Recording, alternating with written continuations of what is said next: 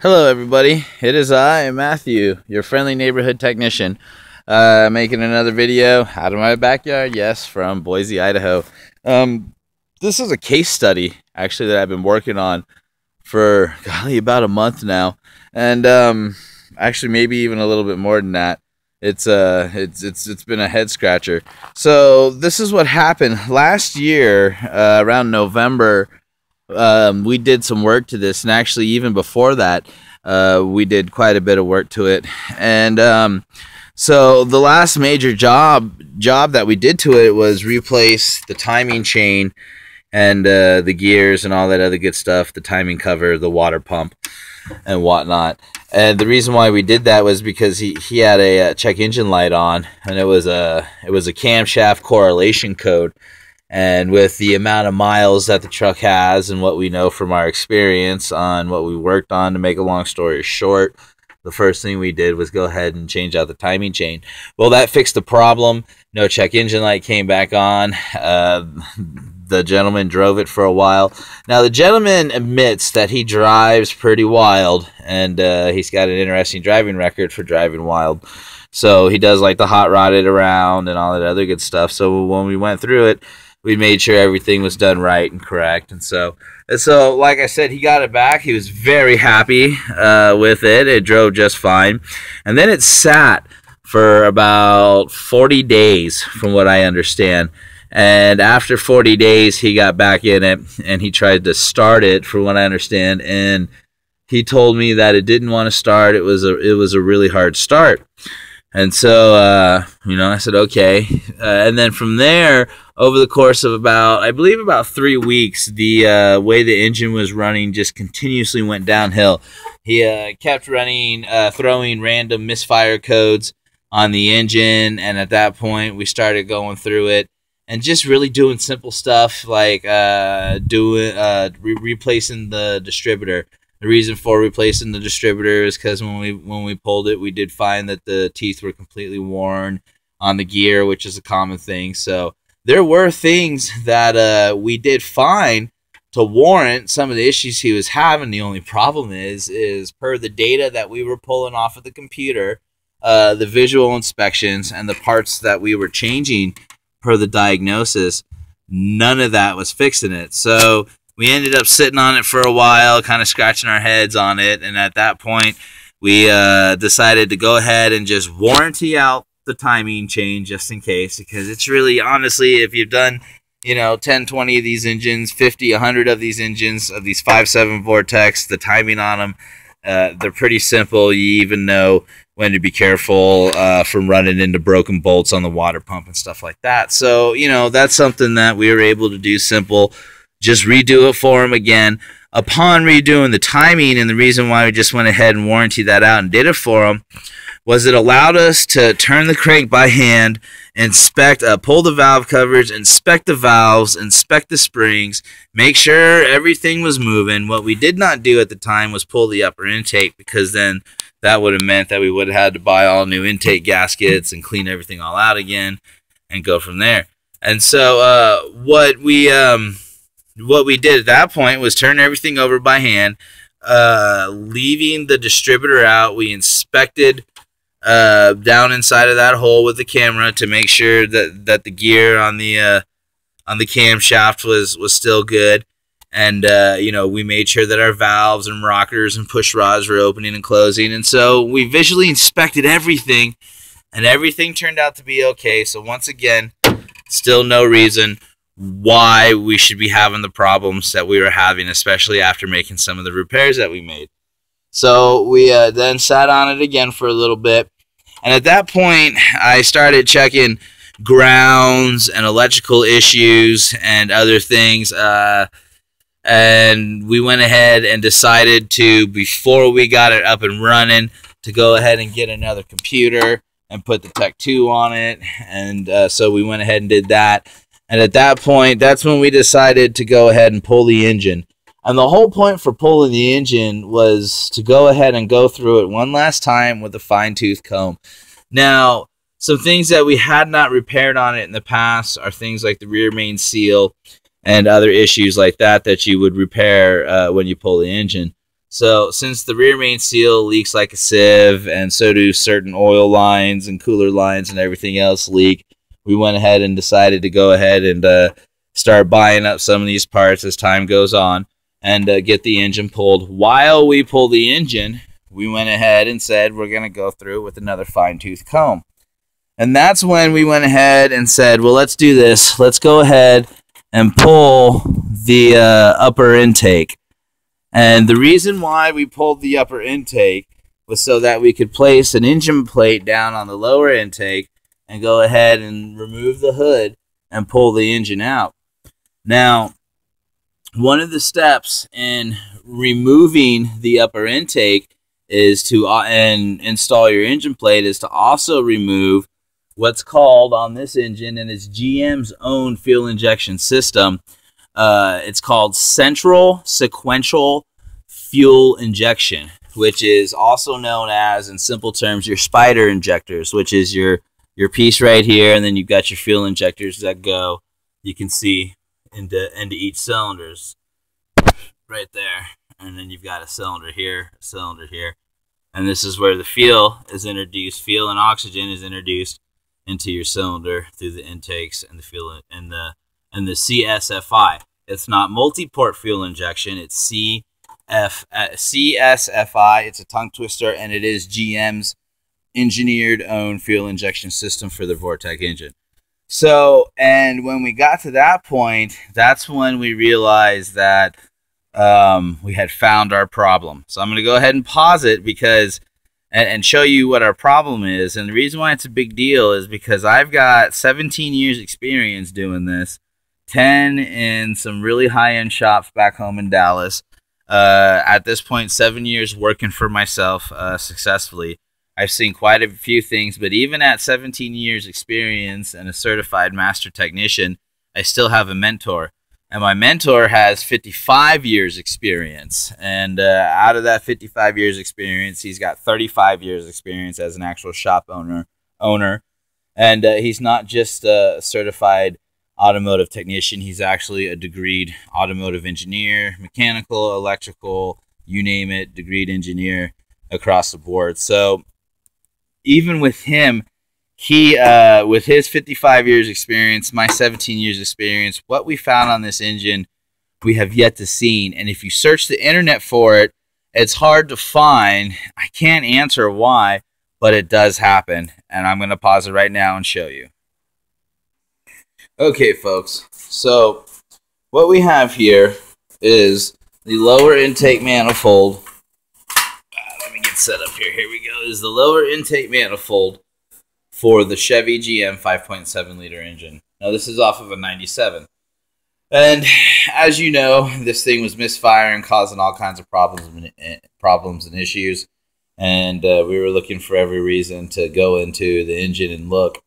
Uh, upon pulling the engine to replace the rear main seal and do some other work, plus double check our work and look for reasons why this engine started acting the way it acted, uh, we had to pull the upper intake actually.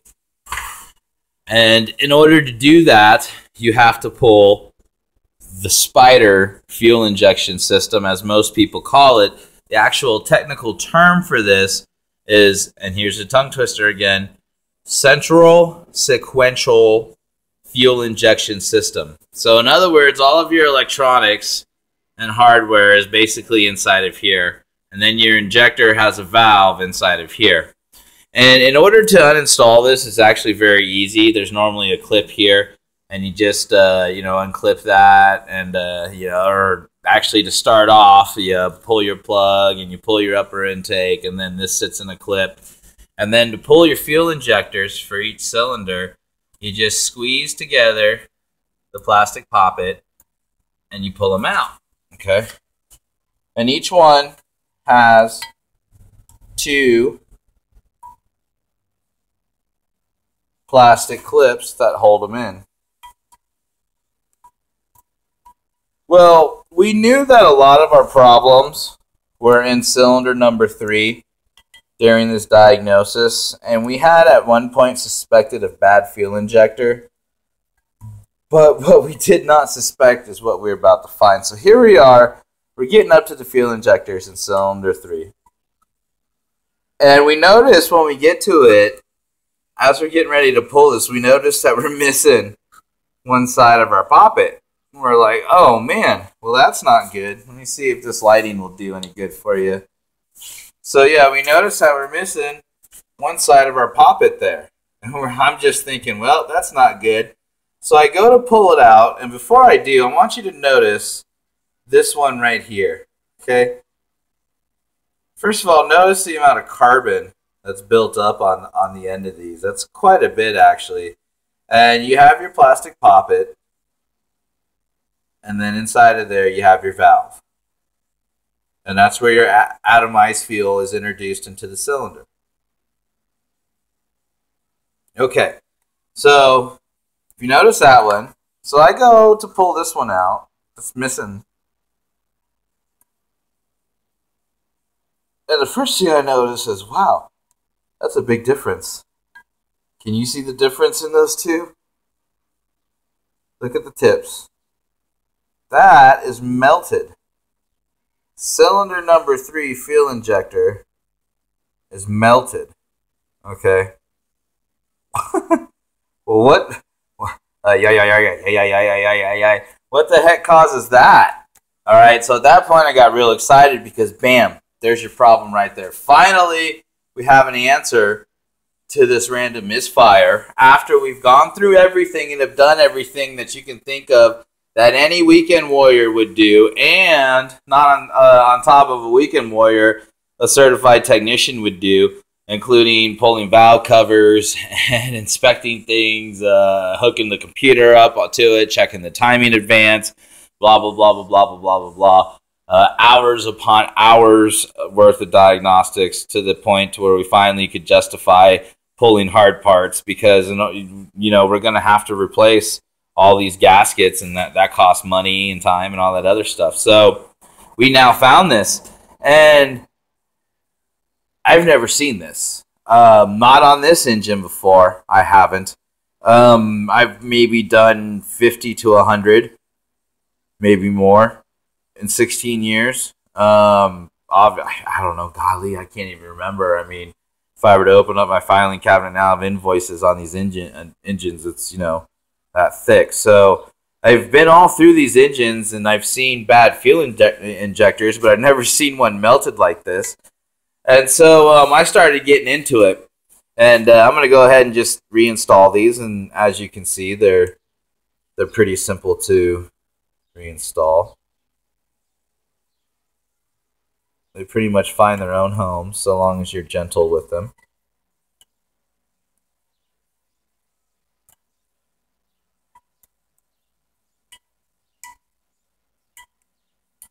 Okay. So here we are installed now, and I want to show you a few ways this happens. First and foremost, if you can look inside of there, you'll see where your fuel injectors stick out. Now this one, you'll see is all flowered out. And you can also see that there's a lot of carbon buildup inside of this. Not as much as some, but there's definitely carbon buildup inside of there. And you can see the difference in the two of those. And this is kind of a flaw, I think, because what happens is this injector right here uh, retains and attracts and generates a lot of heat, from what I understand. Okay, and that causes carbon buildup and causes that, as you can see, that ball bearing that valve causes that valve to stick, open, close, partially open or close, and can cause all kinds of problem. Carbon buildup is also what causes these to melt. So, what we're looking at here is an issue with the way this is put together, with the way this is built. And it's after doing some research, and I actually spoke with uh, I spoke with my engineer buddy, and I spoke with a couple other techs. I got some other heads in on this. Um, only one other has seen it like this before, and uh, GM does have an answer and a repair for this. It is a little pricey though. That's that's just it. But it's a it's a pretty genius repair. So now let's go back to and so there you go. There's the answer as to why this car has acted the way it has, and um, also the answer as to why that fuel injector looks like that. So now let's go back to what this is. Okay, this is again, this is a CSFI uh, fuel injection system, which is a central sequential fuel injection system. Most of the hardware and electronics is all inside of here. And that's why you have a plastic poppet. And that's why it's made this way and put together to keep it simple. The answer is is to change it to what's known as a multi-port fuel injection system, MPFI. Now, the multi-port fuel injection system puts a electronic, puts a little teeny tiny, it replaces this with a little teeny tiny fuel electronic fuel injector that has a little plug plugged into it. And what the difference is is is on the electronic fuel injector, it has a plastic pintle that transfers heat away from the fuel injector and so therefore doesn't cause carbon buildup and you never have this issue ever again. And uh, from what I'm looking around on the internet, those kits range anywhere from 400 on up to 600 dollars uh, or more. Plus, you've got gaskets and everything else uh, that you need in order to put this back together. So, so, so there you have it, folks. If uh, if you have a Chevy GM and uh, you know for a fact you've got the CFSI, better known as the Spider fuel system setup on it. And you have random misfire codes or a hard cylinder misfire code, and you've gone through everything, you've even, let's say you've even uh, redone the timing and replaced uh, crankshaft position sensors, you've replaced coils, uh, you've replaced, I mean, you name it, and you still have an issue, and you're either dead in the water or you're backfiring or you're doing something funny, go ahead and pull that upper intake and go ahead and start checking your fuel injectors. You never know. You just may find one of these. And uh, there's a few different reasons. Everything from carbon buildup to the fuel injector just dying by itself and it just getting hot uh, in, inside of there is the reason. So, all right, folks. Well, this is Matthew Shaughnessy, your friendly neighborhood technician, signing off.